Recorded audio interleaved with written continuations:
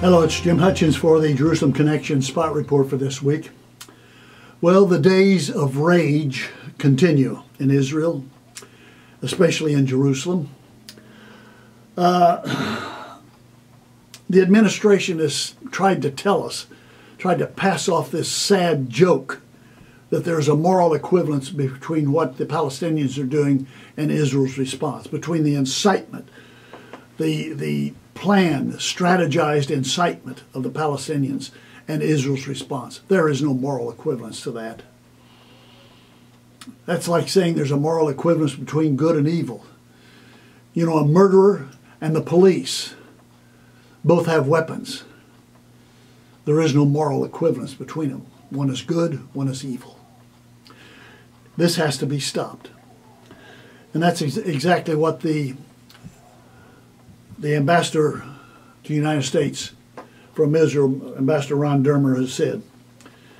Dermer said the international community has to make a clear demand, a demand from Mahmoud Abbas that he has to fully stop, fully stop all this incitement and all lies. The leaders have to step up and stand firm against terrorism. That's precisely what it is Palestinian jihadist, jihadist terrorism. Abbas is not doing that. He actually is pouring more fuel on the flames. The other thing is we have to understand this incitement problem has been going on for years within the Palestinian community, from the cradle to the grave. For years, this incitement has been going on and promoted. Dermer goes on. If we want to solve this problem long term, we have to address the issue of incitement within the Palestinian society. We have to look at what young Palestinian children are learning in their schools, what they're watching on television. And most important, we cannot have a Palestinian society that glorifies murderers and names public squares after killers. This has to stop. And the international community can help us to get Palestinian leadership to cause it to stop. Prime Minister Netanyahu had some additional remarks concerning this. Says, I would like to add a word to the Arabs of Israel. Do not be misled by agitators who want to engulf the country in flames. we live together. We believe in coexistence. It's very easy to unravel the threads that bind us to one another. Do not be enticed to do so. Talking to Arabs who live in Israel, Arab citizens, Israeli citizens, Arab Arabs who are Israeli citizens. that's who he's talking to.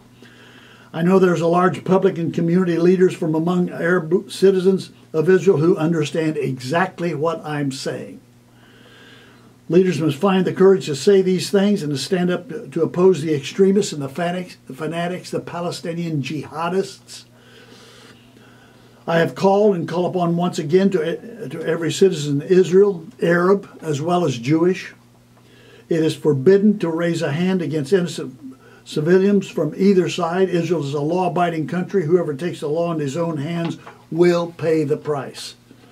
the president has tried to tell us, tried to sell us the notion, the myth, that this is random violence. This is not random violence, folks. This is a planned strategy. Hamas has called for days of rage, and that's exactly what they're getting incitement on the part of Palestinian jihadists and the response of Israelis to take them out. this has to stop. And if I had counsel for the leadership of Israel, I would say, you tell Mahmoud Abbas, you either stop this or we will stop it. We will stop it with extreme prejudice. We will terminate Hamas with extreme prejudice. You know, up to now, all these encounters with Hamas and Hezbollah have ended in ceasefires. That should never be the future. There should be a clear cut victory over these jihadists. They must be destroyed. And as I thought about this, I'm reminded of the passage in Zechariah chapter 12. This refers to an event that's going to take place. I don't know when, but it appears to me that the stage is being set for it. Zechariah chapter 12, God says this I'm going to make Jerusalem a cup that sends all the surrounding peoples reeling. They're going to be knocked out. They're going to be drunk. They can't stand it. I'll make Jerusalem an immovable rock for all the nations, and all who try to move it will injure themselves. That's exactly what's happening today. Then he goes on to say, verse 6 On that day I will make the leaders of Judah like a fire pot in a woodpile, like a flaming torch among sheaves. And they will consume right and left all the surrounding peoples, but Jerusalem will remain intact in her place. Now, as I say, I don't know when that's going to happen, but I do believe that the conditions are ripe for that to happen right now. And I think that Israel is coming to the point where they have to recognize that Hamas and Hezbollah have to be destroyed. They cannot be negotiated with. There is no uh, hope for peace with these people. They must be destroyed. I will make Jerusalem a cup that sends all the surrounding peoples reeling. That's happening sooner or later, and I would guess sooner. For Israel's sake, I hope so.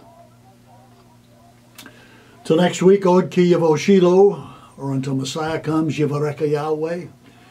Yahweh bless you, bless those you love, and bless those who love you.